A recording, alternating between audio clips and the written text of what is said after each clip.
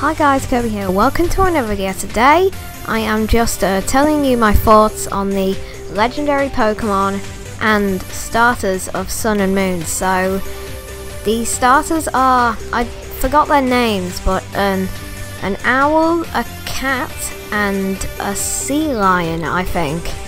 So, if you would ask me, uh, I, I'm going to pick the water. I mean, it is cute, but I still don't really like them.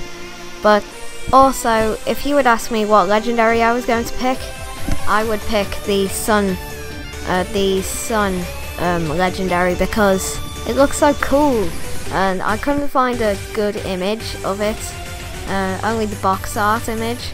So I just got an image from the trailer. So um, my thoughts on it is just meh, meh. It's better than the last one.